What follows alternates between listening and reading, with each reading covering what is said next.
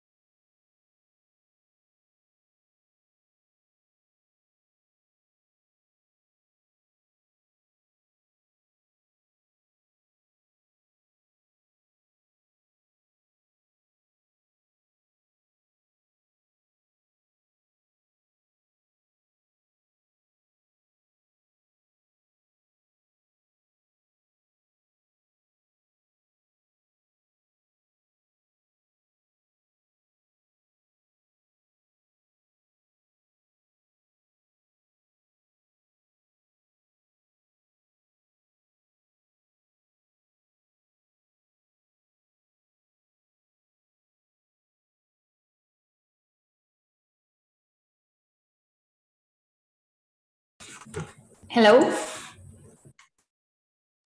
Hi, um Hey, how is it going? good, good, really good. How are you? Very good. Long time no see. Yeah, same here. Uh, Yeah. Same here. so uh, did you there is an echo. Sorry, can you say again? There was an echo, but I think it's better now. You just give me one second to see I think it's better now. You think so. Yeah, I don't know. Zoom is Zoom is weird. No? I, I think it's it's good, good, good.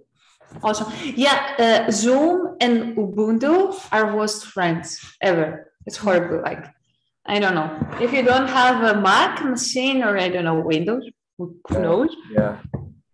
Yeah, yeah, that that's true. Um, so are you um have you come to USA yet or are you still Yes, yes, yes. I am in Mountain View actually. Wow. So we are in the same time zone, eh, more or less. Like we have a time difference, I think. So now, so now here is 9 a.m. in Yeah. the morning. So yeah. for you, is it? it's uh, 12. ah, So it's like New York time zone. Yeah, it's not bad. I mean yeah. When we were at NVIDIA, we used to have a time zone difference. it was it was. Um I think whenever we talked it was pretty late in your night. Yep. Normally 11 o'clock. So how is it going? Are you close Pretty to? good. Um I'm I'm trying to um so I'm going to defend my thesis next month and then I'm going to um UBC for postdoc. Awesome. Congrats. Yeah. Congrats. Uh, so yeah, congratulations to you as well. Um, Thanks. How do you like it so far? it's fantastic. It's very, very nice. I love it here. Uh, yeah, like the weather, first of all, was amazing.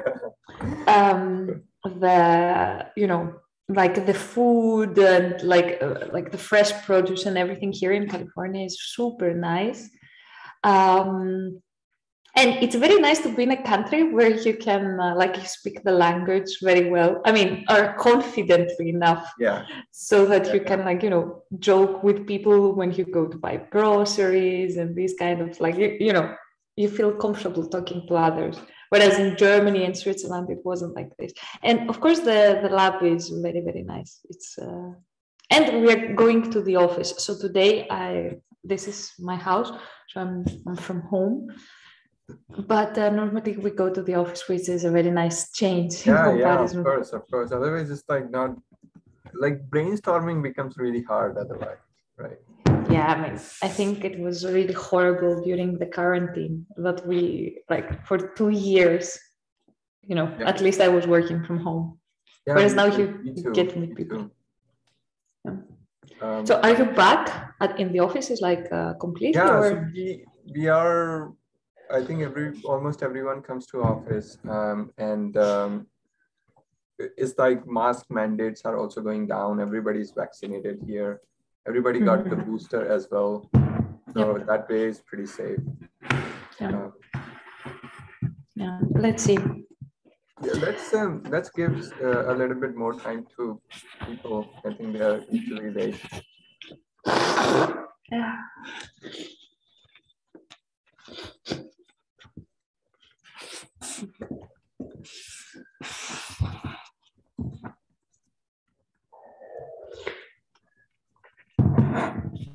So it's a very nice. Um, thanks a lot for the invitation. I was I, I was going to say this also in the beginning of Yeah, the talk, but I want to say that. yeah, we are we are we are lucky to have you here. I'm lucky to be here. um, so can you can you try sharing screen and Yeah, Of course. Let's see. Uh, I think uh, I need uh, you need to give me access. Um, It says host the disabled participant screen sharing. Uh, let me. That's a good point. I actually don't know. Can you claim host? Like, No, let's see. I have no setting. Okay, let's see.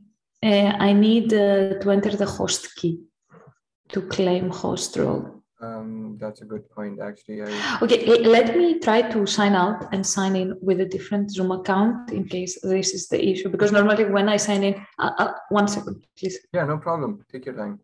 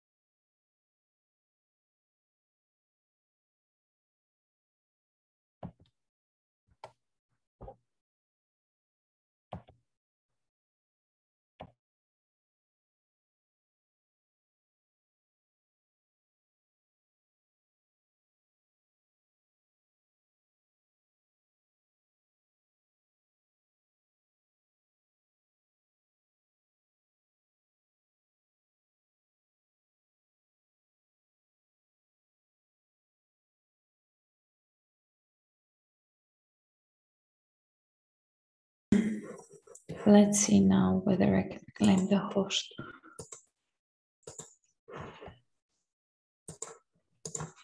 Can you try sharing? Yep. No, not yet. It says host disabled. Okay. I'm trying to figure out something. One second. Yes. It is.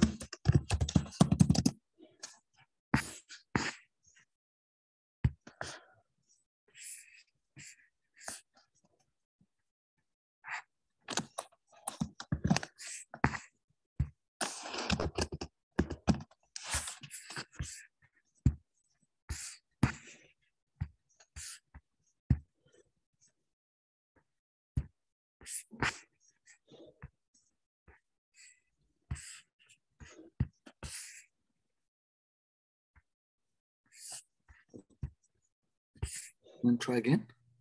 Yes. Yes, it works now. Okay. Awesome. Um, hmm, I guess uh, we should try starting.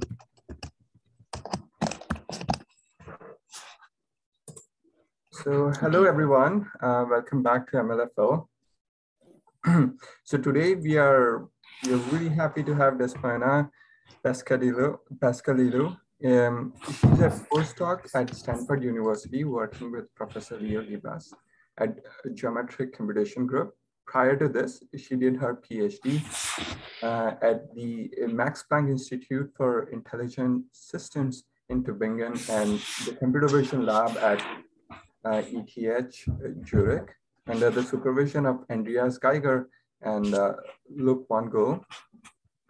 She received her uh, diploma in electrical and uh, computer engineering from Aristotle University of Thessaloniki in 2015.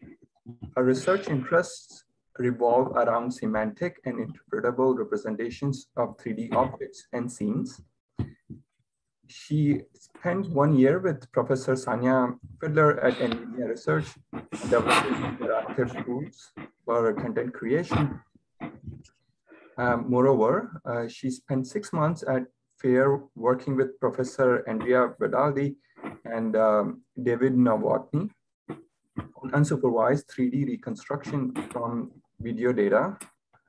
Um, uh, thanks, uh, uh, Despoina, for accepting this invitation and um, uh, stage is all yours now. Thanks so much for the introduction. Uh, yeah, like I'm very happy to be here. I was uh, super happy when I, I saw them uh, email inviting me. So thanks a lot for the invitation and uh, for organizing this talk. So uh, yeah, so uh, the, the work that uh, I will be presenting to you today was mostly done during my PhD and uh, during my time at the Autonomous Vision Group and um, CV, CVL and NVIDIA. And uh, yeah, like I just want to have this as a, a disclaimer. Okay, so uh, in general, um, what I've been trying to do during all my PhD was to address the task of uh, 3D scene understanding. And what we wanted to do is we wanted to introduce somehow compositional representations capable of capturing uh, the functional composition and spatial arrangements of objects and object parts in the scene. So I know that um, uh, has done fantastic work on uh, these directions. So I don't think that I need to, to motivate at all why compositional representations uh, make sense. So yeah, this is, uh, I think, a very interesting and exciting uh, research direction. So uh, very briefly, what I've worked on during my PhD was on compositional representations. And initially, we focused on primitive based representations for recovering the 3D object geometries. And uh, we proposed two architectures that seek to represent object shapes using semantically consistent part arrangements. And um, in contrast to more powerful 3D shape representations, such as occupancy networks, um, our primitives provide a more interpretable alternative that allows reasoning about um, semantic parts. Subsequently, uh, we focused on uh, uh, structural representations that uh, go beyond part level geometry and focus on higher level relationships between object parts. And in this work, we proposed a coarse to fine approach for simultaneously representing an object with more and less details. And while in this work, um, we don't show any results on scenes with multiple objects, I strongly believe that this structural representation with multiple levels of granularity would have been very beneficial for 3D scenes with multiple objects, uh, where we would need more attention to more cluttered parts of the scene and less detail to more to less sparsely populated uh, regions. And um, finally, uh, uh, what we did we uh, during my internship uh, at NVIDIA is that we proposed uh, a neural network architecture for synthesizing indoor scenes by plausibly arranging objects within the scene boundaries. For this task, um, we observed that um, our model uh, is capable of inferring semantics about objects in a scene directly from data. Uh, for example, that a nightstand is typically positioned next to a bed or like uh, uh a, bunch of chairs typically surround a table. And uh, we used this kind of learned semantics for generating plausible new environments. So one of very big motivations of my PhD was uh, Pentland's paper from 1986. So this was a paper that was introduced to me by one of my first uh, colleagues when I was like a baby PhD student, Ali Osman Ulusoy, when we were actually at the CVPR in Salt Lake City. And uh, I think this is a fantastic work because technically what uh, was doing here, he suggested to represent a scene using a bunch of uh, superquadric surfaces. Superquadrics are cool because they can be uh, they, they provide an alternative to more compact representations. So they are represented with 11 parameters. And what i love about this work is that um, he managed to reconstruct a scene using 100 primitives. And uh, even though you might see this and you'll be like yeah i mean this is trivial it actually is not because even today we are not we don't have at least I don't know of any method that can uh, reconstruct uh, large scale scenes using uh, primitive based uh, methods.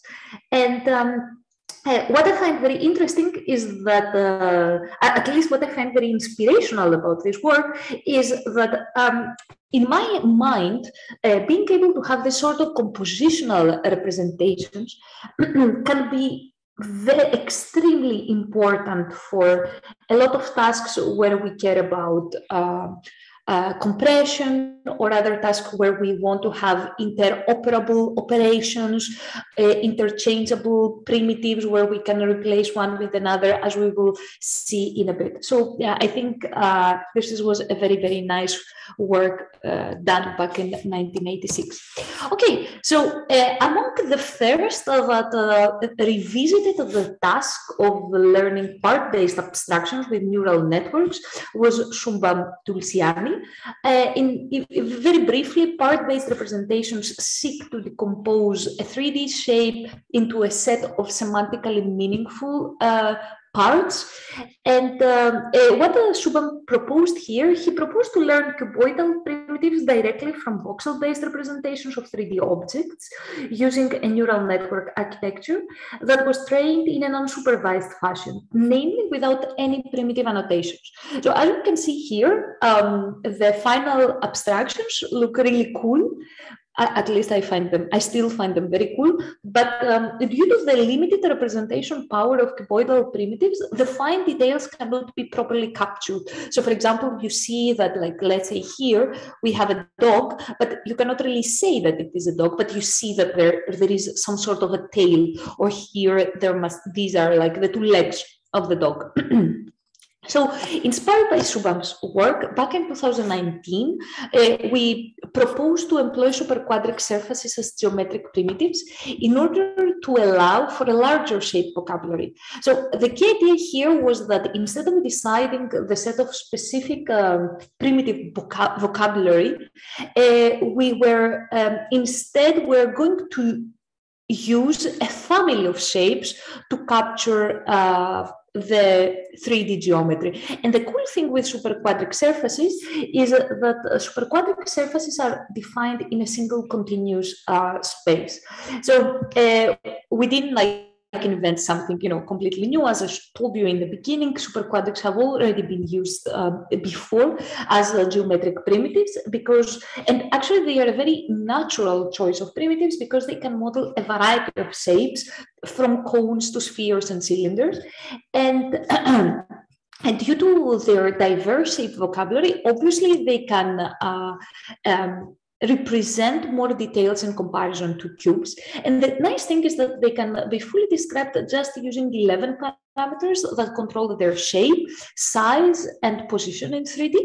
And in addition to that, uh, since they have uh, more expressiveness, they have they can uh, represent more more shapes, they allow for faster and smoother fitting in comparison to cuboidal primitives so uh, our architecture is actually very simple. I'm just only saying having these figures here for completeness, but you could, in, in, in theory, you could uh, have any architecture. So here, what we used, we use a voxel-based encoder that takes as an input a voxel grid, but obviously you can you can replace the voxel-based encoder with an image based encoders such as a ResNet or an AlexNet or whatever.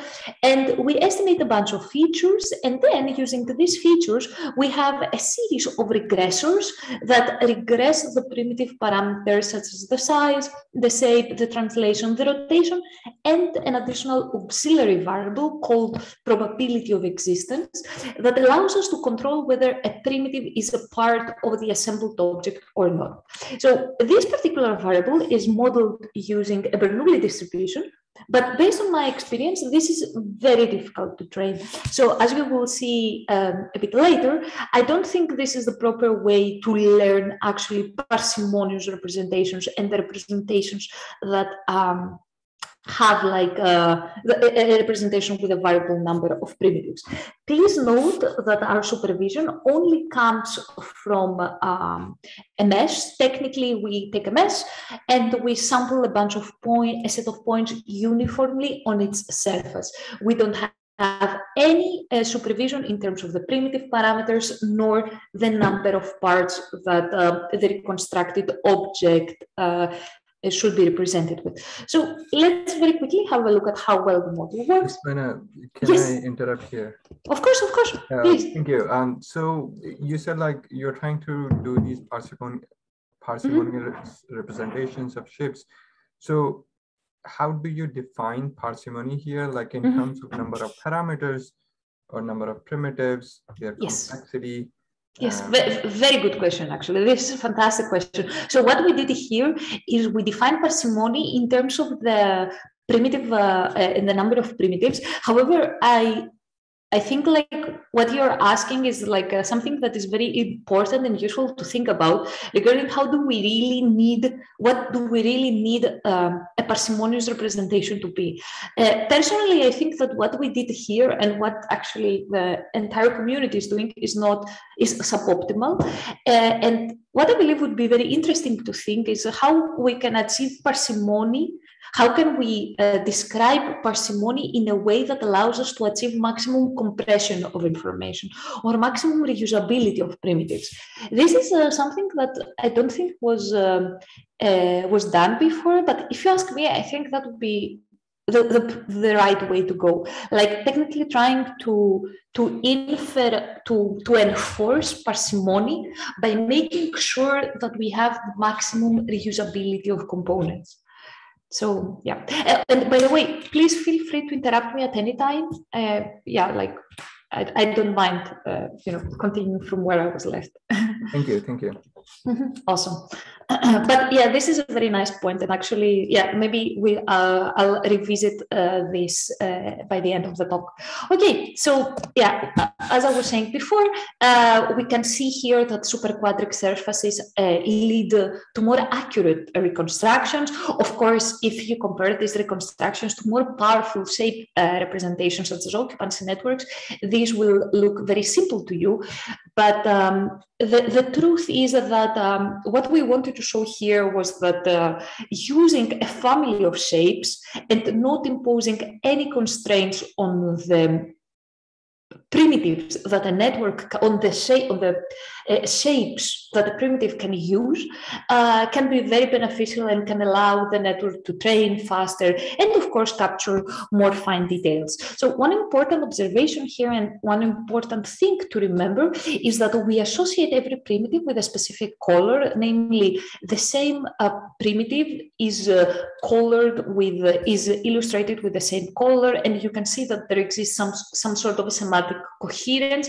So for example, the body of the, the the, the, upper body of the animals is typically reconstructed with uh, pink, uh, or like the main body of the airplane is reconstructed again with pink. So, one very important thing to observe here, at least I find it very interesting, is that, for example, here for the case of a cat, where a cat is a smaller animal than uh, uh the dog and a deer, you see that the pink primitive doesn't even exist. And instead, what used to be the leg, the I'm sorry, the neck of the animal is now the upper body of uh, this animal. So please keep this observation in mind because I think this is a really important observation for what we can do next. So where we can move forward from uh, what we have up to now.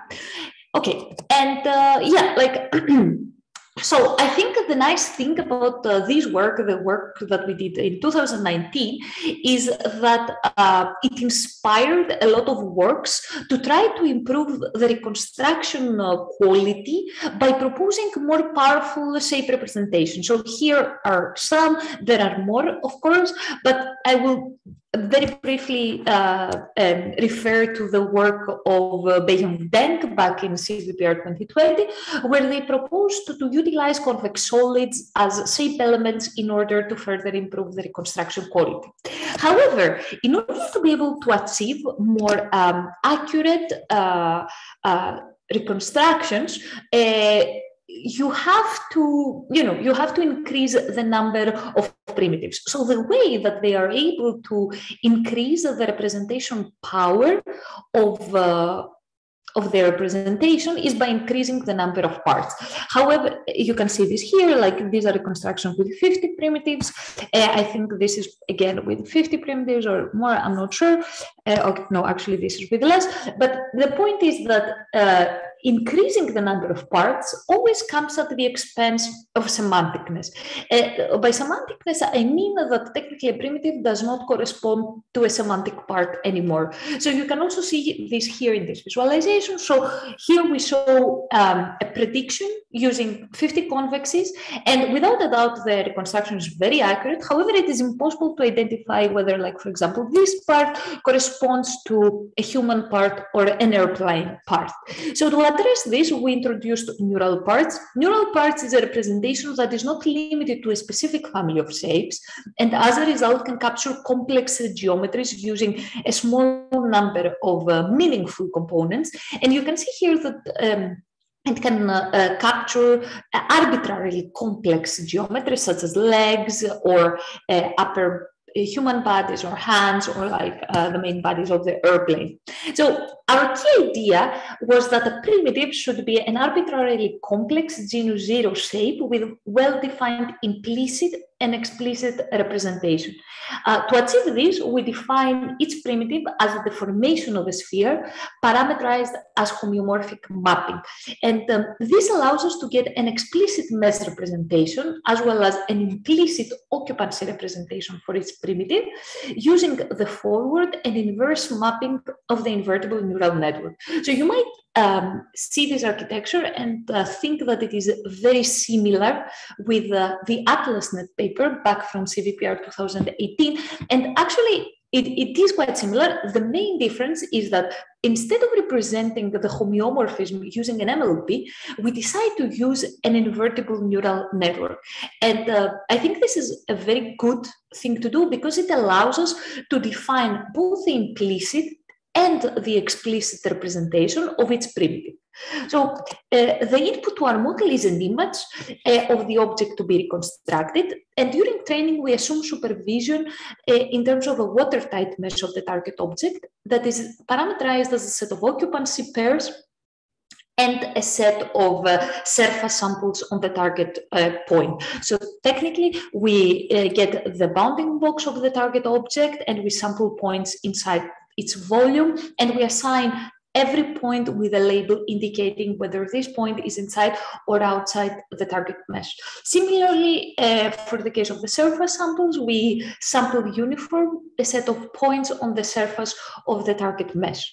Um, our network architecture is technically consists of two main components. The feature extractor predicts a global feature representation for the input and concatenates it with a set of learnable embeddings, one for each primitive. And we use a conditional invertible neural network that allows us to, to deform a sphere into n primitives and vice versa. Please note here that if we weren't using this per primitive embedding, it wouldn't be possible to have a single INN for learning all m deformations. So instead, we would have to use uh, M invertible neural networks, and this obviously would have been suboptimal and would uh, take a lot of uh, time to train. Okay, so as I mentioned before, I think uh, the coolest thing about this paper, and in particular about the idea of using an INN uh, to parameterize a homeomorphic mapping between two shapes is that we can efficiently compute the implicit and explicit representation of each primitive.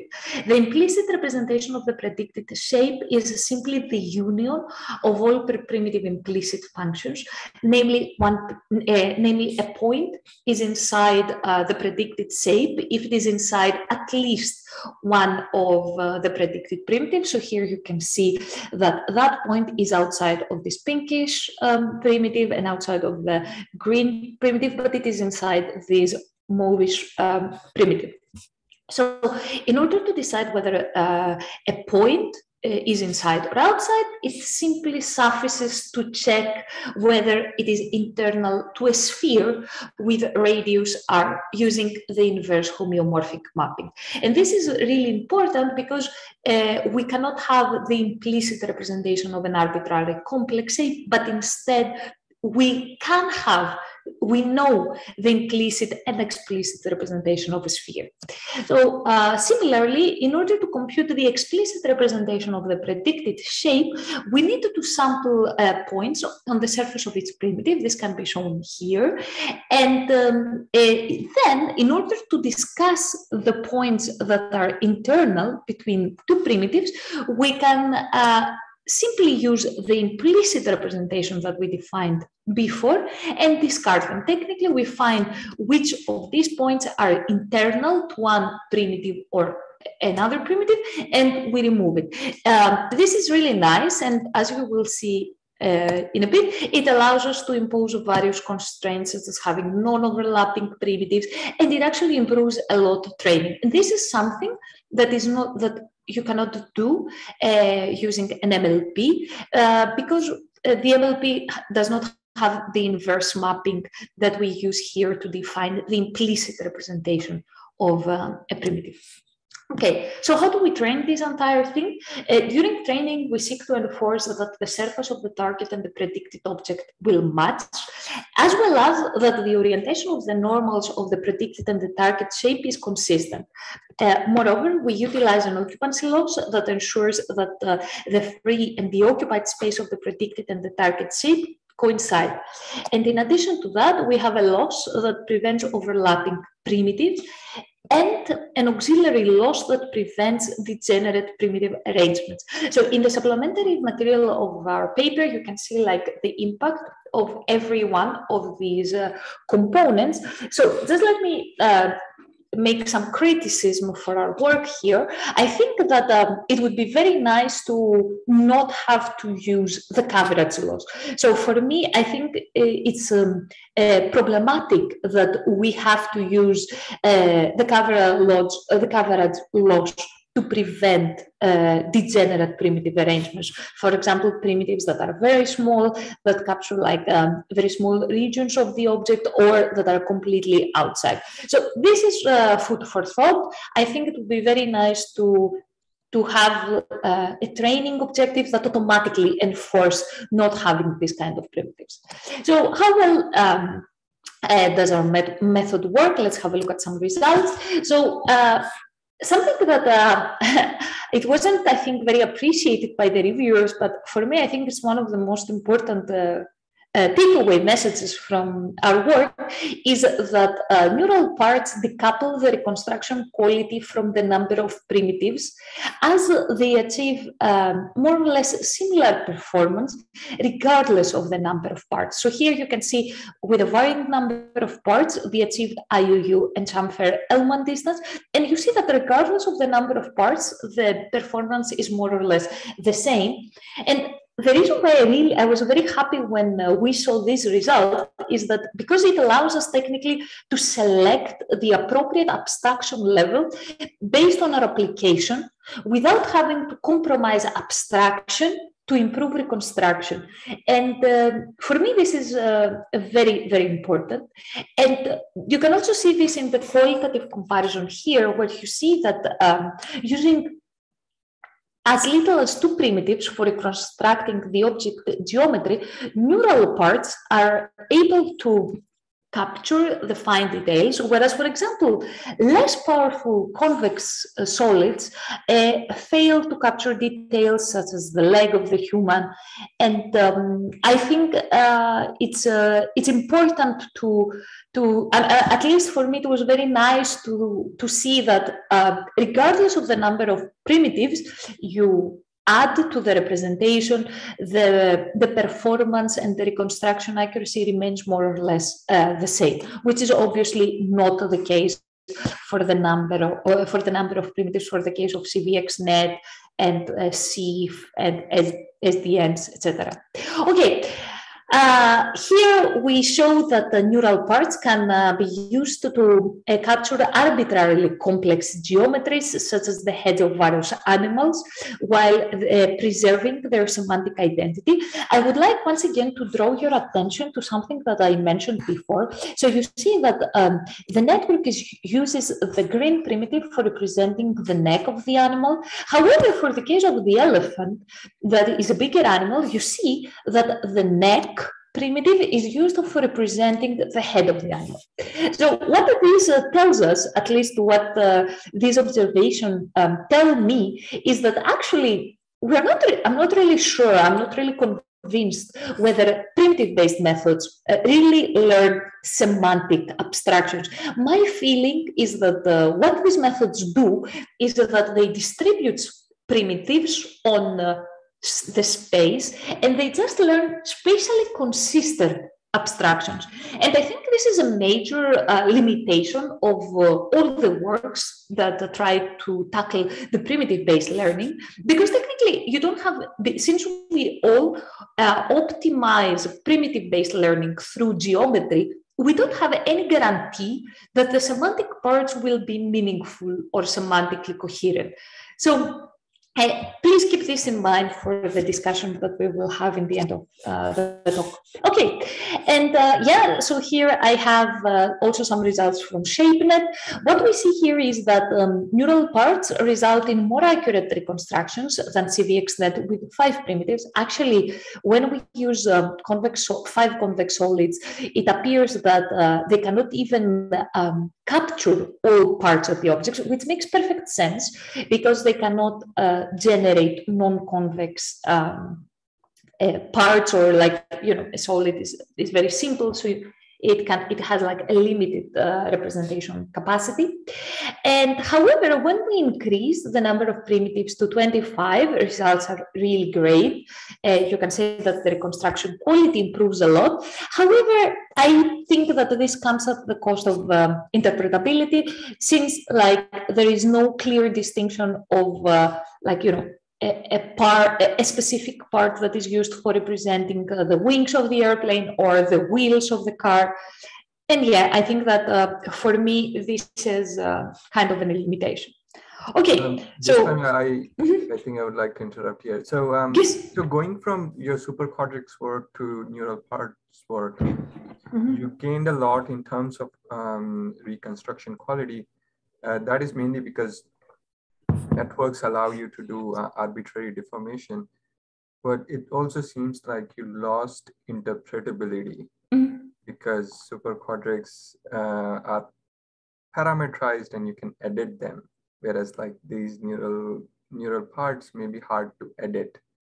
So what, what do you think about these trade-offs between how you represent primitives?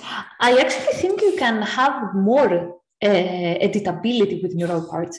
And the reason is that uh, technically here the idea is that uh, for the case of superquadrics, what we did is that uh, a superquadric was uh, parameterized by F by 11 parameters. What we do here is that we technically parameterize a primitive with an invertible neural network. So, you know, if you move around the latent space of the neural network, so if you change the parameters, so if you do interpolation, uh, on uh, the you, using the invertible neural network, you will see that uh, there are the network has a lot more interpretability and has managed to learn uh, more, more expressive primitives. So with respect to interpretability that you mentioned before, actually this was one of the concerns, this was one of the major concerns uh, uh, during the review process of neural parts. So some, some uh, reviewers were saying that, you know what, uh, this is not really a primitive. This is very complex to be a primitives. Primitives should be uh, more simple shapes such as cubes, ellipsoids, etc. Uh, I, I, don't know. I personally think that this is more like of a philosophical question uh, because for me, it's a matter of what you want to do. It's a matter of uh, what is the problem that you're trying to solve. So for neural parts, I think that what we propose is a method that allows you to have accurate reconstructions while being able to have a small number of parts that somehow, when you as a human see them, you're able to say that, okay, yes, this is a leg of a human, this is the hand of a human. Whereas, for example, for the case of convex CVXNet or like uh, NSDs, it's impossible to, to say this, to, to see a part and say, okay, yes, this is a human part. And actually, to be fair, for the case of neural star domain, the, this is not such a profound problem. Actually, I think NSDs and neural parts are technically kind to uh, solve a similar problem. Right. And right. The, but, but in particular for the case of CVXNet, uh, I think you cannot really tell, uh, you know, by seeing a part to which part of the object does it correspond right. to. Yeah, I mean that makes sense. But like as you mm-hmm. said, like what is what you want to do with these primitives matter. So once you have found all these primitives, mm-hmm. let's say if somebody wants to edit, then or like you know enlarge a part of the body or something like that then editing superquadrics or primitives like that that are already parameterized could be more intuitive in comparison to editing these neural parts. Uh, I yeah. think that's what I wanted to say.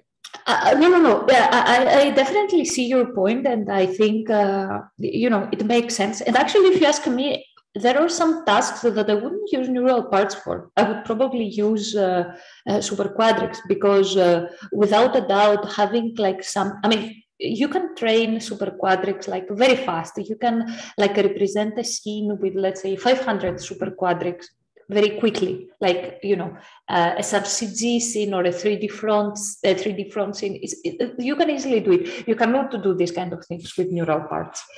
Um, yeah, I don't know. I mean, yeah, for I think me, it makes sense. Mm-hmm. Uh, it makes sense. Uh, yeah. Uh, just one like uh, final remark here. I think that um, you know what I don't like about uh, CVXNet is uh, that they managed to improve a lot the reconstruction quality by increasing the number of primitives in their representation. So if you take cuboids, the work of Shubham Tulsiani, and increase the number of parts, you will get much better representations. If you care, if you take the method of uh, dual SDF from uh, Noah Snavely's group, where they use spheres to represent as primitives, you will get very good reconstruction uh, accuracies. So uh, the, the thing is that technically what I'm trying to say is that um, increasing the number of primitives was one way to achieve reconstruct high accurate reconstructions.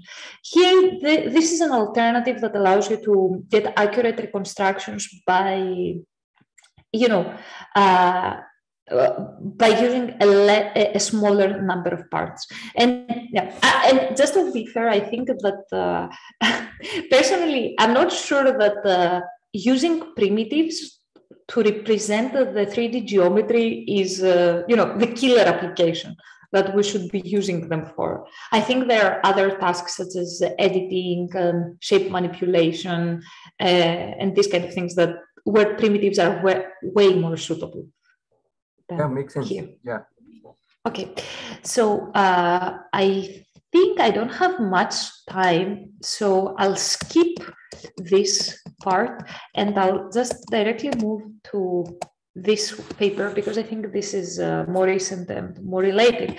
So yeah, like uh, technically, uh, as I said before, what we want to do uh, since like I started like my PhD journey was we wanted to improve the 3D scene understanding and uh, to to be able to show uh, to showcase how well uh, someone understands something it simply suffices to see whether they can uh, reproduce it and uh, try to generate it from scratch so uh, i think that uh, our work on generating a complex 3d environment, it's also an important step towards 3D scene understanding. And um, what we did in this work is that we created a generative model that can um, populate a room given only it, uh, its layout.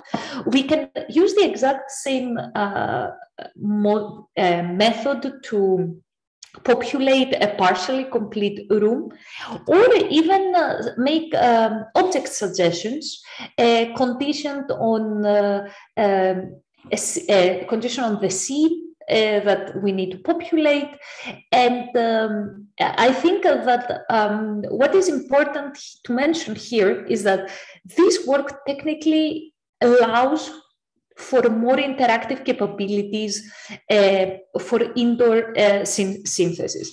So why did none of this was not uh, possible before? Actually, it kind of was but uh, let me uh, briefly uh, mention uh, uh, these two works, The Fast Synth by Ritchie et al. and SceneFormer by Wang et al. So both works are very similar in the sense that both represent the scenes as a collection of objects. However, they impose a natural constraints on the scene generation process because they assume there exists an ordering in uh, the way that a scene is generated. Technically, they represent um, scenes as ordered sequences of objects.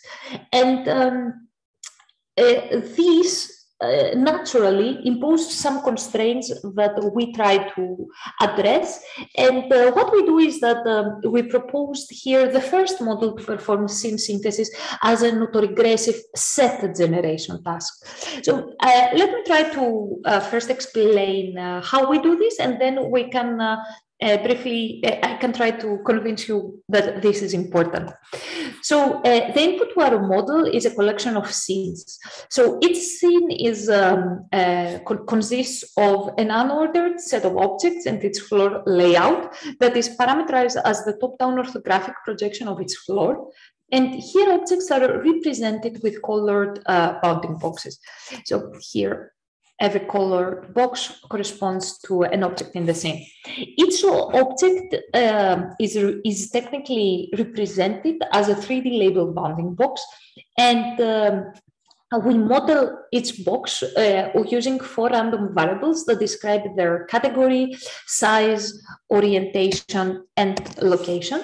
And during uh, the generation process, the object attributes are predicted autoregressively, namely uh, one after like, first the class, then condition on the class the translation, then condition on the class and the translation the rotation, and condition on the class, translation and rotation, the size of the object. Autoregressively predicting the object attributes is a logical choice since we want our model to consider the class of an object before reasoning about its size and location. And in our setup, as I said before, we the order with which we predict um, the parts is class first, followed by translation, then rotation, and finally size.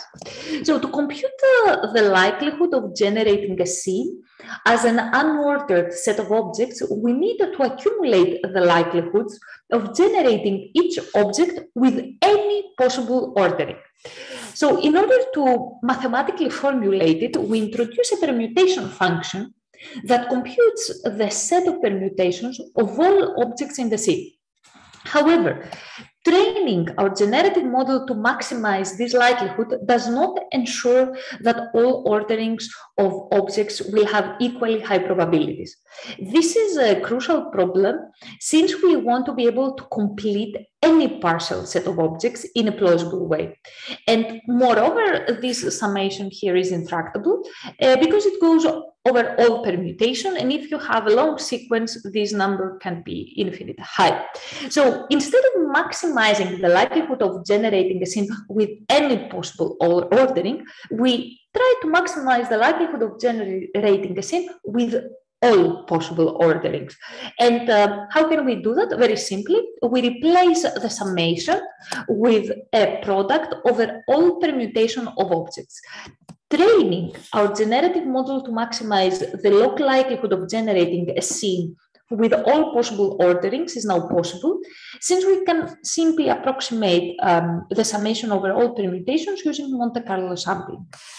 And um, I, the, if, if we want to go over the network architecture, we can see that uh, starting from a scene that, as I mentioned before, is parameterized you, uh, with a floor layout and a bunch of existing uh, objects in a scene, uh, we pass the top-down orthographic projection of the floor to the layout encoder and extract a global feature representation.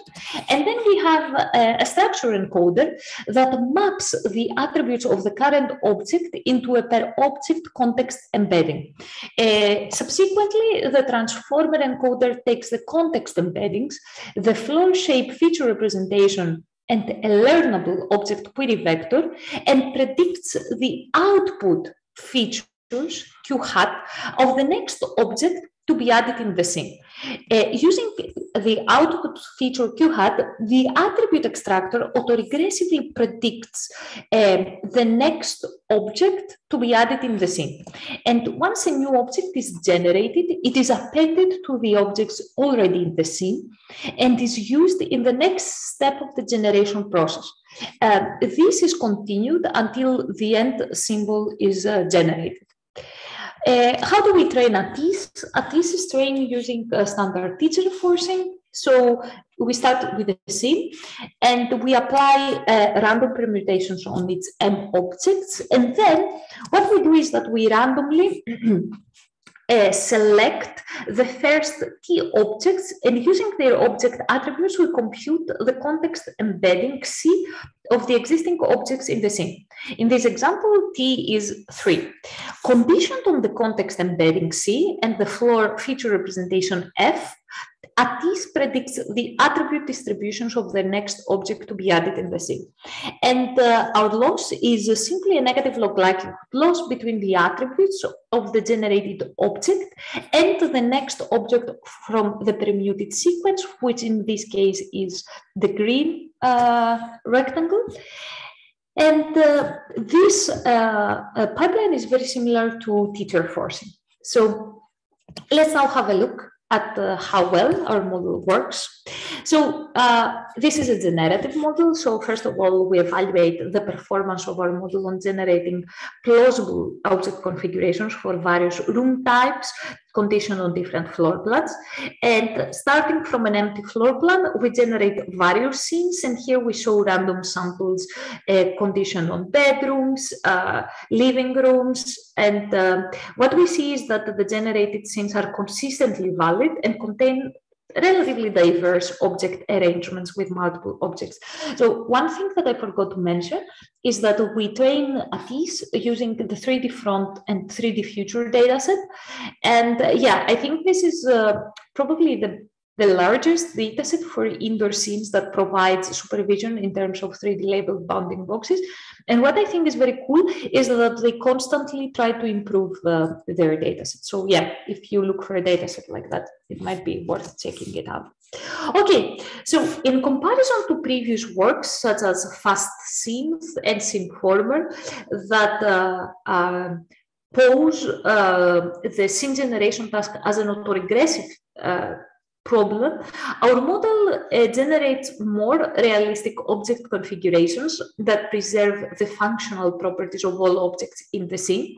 And instead, previous uh, generative models sometimes tend to generate invalid rooms. So for the case of FastSynth, uh, note that uh, the authors in the original paper, they do post-processing. So they take the generated scenes and they uh, have some post processing in order to fix uh, the rooms that they generate. So for fair comparison, we don't use this kind of post processing here. And this is also the reason why you can see that there are rooms that are outside um, the room boundaries, such as here, or we have objects that overlap with one another. So this is also the case for SceneFormer. So to be honest, uh, in all our experiments, uh, SceneFormer wasn't working very well. In particular, for the case of living rooms and dining rooms, the results were much worse than in the paper. So yeah, my assumption is that the model is very complex and this is why it has uh, a hard time figuring out what is going on.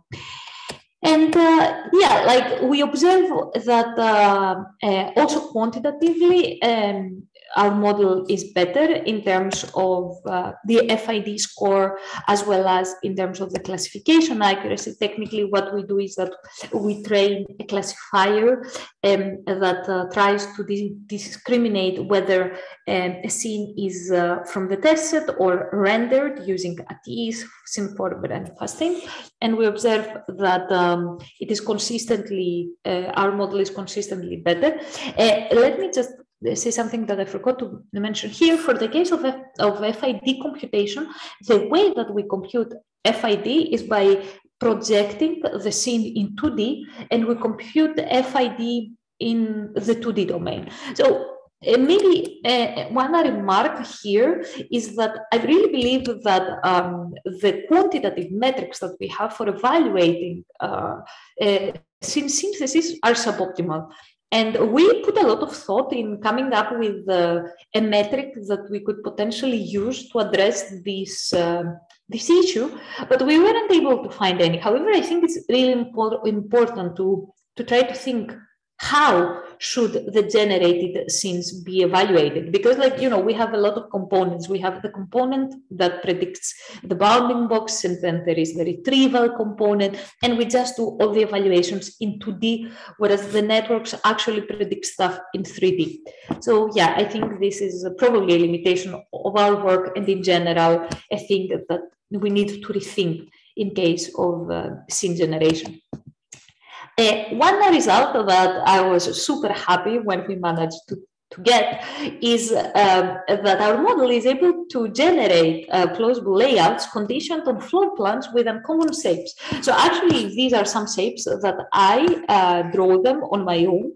and I gave them as an input to the network, and the network uh, had to generate uh, plausible objects. And uh, honestly, I wasn't expecting it to work that well, but it actually seems that the network has managed to learn to respect the room boundaries. So you see that uh, not uh, that objects are always positioned inside the room boundaries, and also the, the orientation of the objects seems very nice. I mean, yeah, I don't know about this wardrobe that is positioned in the middle of the room, but still there is enough space for a room human to, to move around. So yeah, I think this is a, a nice observation.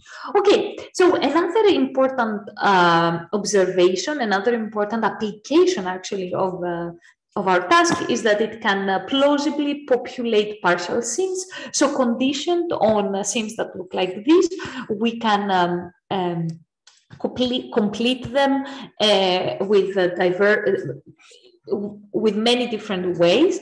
And uh, uh, what is important to mention here is that Fast synth and SceneFormer cannot perform general scene completion since they assume that scenes are generated as ordered sequences of objects. So in particular, the most frequent object is generated first, followed by less common object. As a result, if we start from a partial scene with less common objects, both models either fail to add any object in the scene, or uh, in the case of SceneFormer, they generate non-realistic object configurations. So since both models were trained with ordered sequences of objects, they can only generate objects in the order that they were trained with. Uh, this is also the case for the variant of our model that is trained with uh, ordered sequences of objects, here denoted as ours plus order. And what we do here is that we incorporate the order information to the input by utilizing a positional embedding and a fixed ordering based on the object frequency similar to FastSynth. And um, the takeaway message from uh, this experiment is uh, that considering scenes as an unordered sets of objects allows completing scenes with any kind of object. So uh, next, here you can see another uh, use case of our approach where our model is able to provide object suggestions given a scene and user specified location. So for this task, a user specifies a region of acceptable positions to place an object marked as uh, the red box. And uh, uh, the network suggests a meaningful object to be placed within the user specified uh, location. Uh, so to perform this task, what we do is that we compute the likelihood of an object conditioned on an arbitrary scene. And we observe that the suggestions that our model makes are consistently meaningful. So notably, even when the user provides something that doesn't make sense, like here, what object would you place in this region, the network suggests to place nothing. And I think this is uh, very nice. And note that due to the ordering assumption, neither FastFormer, uh, I'm sorry, FastSynth nor SceneFormer can perform this task. And um, another interesting use case of interactive tools for scene synthesis is, um, uh, you know, uh, failure cases correction. So starting from a scene that looks like this, that obviously has uh, is problematic, our model is able to identify the problematic object marked in green. So please note that the network is not aware of uh, what is uh, the problematic object. It, it infers on its own by computing the likelihood of that particular object being positioned at that particular location. And as soon as the network identifies a problematic object, it repositions it in a more natural position by sampling its uh, size, rotation, and um, location. Okay, so uh, since our method is uh, very simple in comparison to both FastSynth and SceneFormer. Uh, we can uh, generate scenes uh, significantly faster than both. And uh, the reason uh, for this is that, first of all, uh, FastSynth requires rendering after adding every object in the scene. And in addition to that, SceneFormer consists of uh, four uh, transformer encoders, whereas our model consists of one. And as a result, it requires at least four times uh, more time for rendering um, a scene in comparison to ours. Uh, all these numbers are uh, computed on an NVIDIA uh, TI, uh, GTX 1080 TI. And uh, yeah, uh, because I'm running out of time, let me briefly conclude. Uh, so, so far I have presented like um, models that are able to learn expressive shape abstractions in a supervised um, manner using either uh, superquadric surfaces or neural parts. And uh, I think that the important, uh, the most important takeaway message from neural parts is that um, it allows us to, uh, you know, uh, decouple the reconstruction accuracy from the number of primitives. And uh, we didn't have time to talk for this project, but uh, I just want to mention like uh, two things here. So uh, the, at least the way that I look at the future from based on this work is first of all, I think that it is important to rethink the way that we learn primitives uh, uh, because uh, if you remember the images that I showed you from the cat and the, the elephant, it seems that uh, it seems to me that we are not really learning semantic parts, more or less spatially consistent parts. And uh, I think that it is very interesting to, to reconsider the optimizations of objectives that we use for learning these uh, semantic components. And uh, for the case of the synthesis pipeline, uh, what I think is uh, very important is that this is the first work that um, opposes the scene generation as an unordered set um, uh, generation problem. And uh, because our model has fewer parameters, it's simpler to train and it runs eight times faster. And uh, one, uh, you know, some of the limitations that at least I see for, for uh, this work is that um, right now the, the the module that is responsible for replacing the bounding boxes with uh, uh, the actual objects is completely independent from the rest of the network. As a result, we have no control on uh, the meshes or on the actual object meshes that will be used to replace the bounding boxes that the network predicts. I think that it would be very interesting to consider how we can do this a bit more advanced and uh, technically also consider stylistic information of parts this is of uh, i'm sorry of objects. And um, more importantly uh, how can we have uh, uh like uh, is it maybe possible to really have a model that does, doesn't require image retrieval and yet can yield these nice visualizations as we can see here I think this is a, a really exciting uh, direction for future research. And yeah, I think I'm running out of time, so maybe I should summarize. And yeah, thank you all for your attention. Sorry for uh, you know taking more time than I should. Yeah, no problem. Uh, Despoina, it was a great talk. Um, thank you so much. Uh, thank you so much. Um, and we can have few more questions uh, from audience. Can I ask a quick question? Uh, can you elaborate elaborate a bit on uh, object correction? Uh, I think I, I, I, didn't understand how exactly yes. the model mm -hmm. do it. Of course, happy to. Okay, so what we did here is that we, uh, you know, um, on purposefully like uh, create these problematic scenes. And uh, what we do is we give we we compute the likelihood of uh, an object being positioned at a specific location conditioned on the rest of the scene. And uh, objects that have low likelihood are identified as problematic objects because obviously and i think this is uh, this is very very nice. And yeah um, then as soon as you have identified a problematic object, you can resample its location, size, etc. So this is how it is done. Uh, I see. I got it. And you got some certain threshold, right? Uh, yes, exactly, exactly, exactly. I don't remember the threshold exactly, but I think you can see it on the code actually. It's but it's very simple, right? It, it it's very impressive that it works consistently yes uh, yes yes. And the threshold was basically defined once right? Like for every yes, scene oh exactly. nice. Nice yeah okay exactly. thank you thank you thank you. Exactly. I'm sorry i don't remember the threshold but i'm sure it's like uh, on the scripts on the code. Yeah um, maybe i can ask uh, last question here.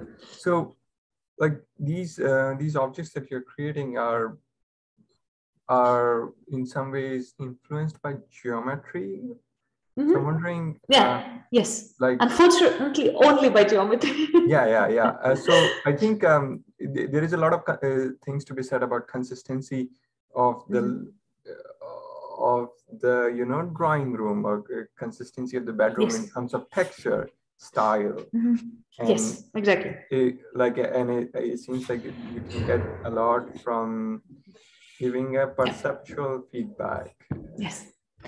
Okay, so actually, uh, I, am working with a student on extending this work to consider also stylistic information. Uh, your observation is great, exactly. So actually, I don't think that I have results here, but uh, yeah, like when we were working on this project, uh, it was very annoying because sometimes it was it was generating completely, um, you know, bad scenes. Where, for example, you had like a, a white bed with one black and one white nightstand. And it was so annoying for me because, you know, we humans can uh, see this and say, no, this is wrong. Because no one, I, I think no one would do it. So uh, to answer your question, I think style is very important. We are trying to do this right now. Um, the results are seem to be very very good and uh, yeah i think the most important question to try to answer here is what is the right distribution that we can use to represent style. And uh, because you know like you can do very simple things such as so first of all the 3d front dataset uh, gives a style annotation for all objects. So there exist like all objects have like style information such as minimalist simple chinese korean whatever. So obviously the simplest thing to do is to do like uh, to represent style as a categorical distribution and to try to learn it in a similar manner as class labels. This works very well. It was expected. Uh, there are other things that you can do. So I can tell you very briefly what we've done. So we've tried like um, uh, representing style using a Gaussian mixture model. This also seems to be working very well, but I don't really like it. I think this is not the right way to go. And we are really trying to figure out better ways to really learn this stylistic information in yeah. order to get like as you said stylistically consistent um, yeah pattern i think uh, i mean i i don't know how to do it myself but like it seems perceptual uh, loss mm-hmm. yes there's something because like you know you go you go to google and you can just search like bedrooms and you get an infinite amount of data there and mm-hmm. you've got to be somehow able to use uh, GANs along with NeRF yeah. to, to somehow, you know, alchemy to generate beautiful yeah, I don't know. It might actually, this is something that we're discussing. Yeah, yeah. And we're discussing with a student that is working on that. So he's actually a master student from uh, Greece that is trying to tackle this problem.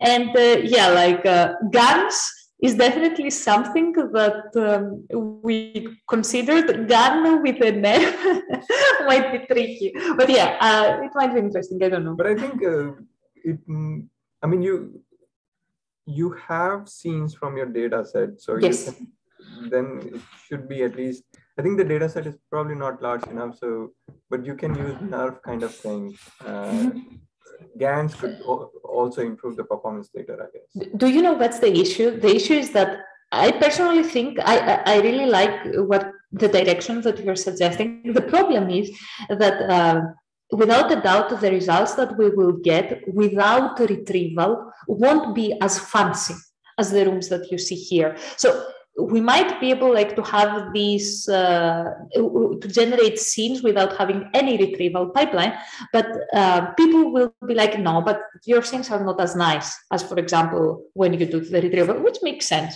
So i'm just wondering is there a way to get like this kind of quality that you can get using like a retrieval without having to do retrieval? I don't know. I i, I yeah. think this is yeah we're, we're working on this. Hopefully, we will have something. oh, cool. Um, yeah, I think uh, uh, we are running out of time, and uh, yeah. there will be a few one-on-one sessions later. Um, so thank you, Despoina, for yeah. Feel free to questions. Yeah, and yeah. feel free to contact me if somebody wants to discuss more or whatever. I'm always happy to chat. Yeah. Okay. Thank you. Okay. Bye. Thank you so much. Bye.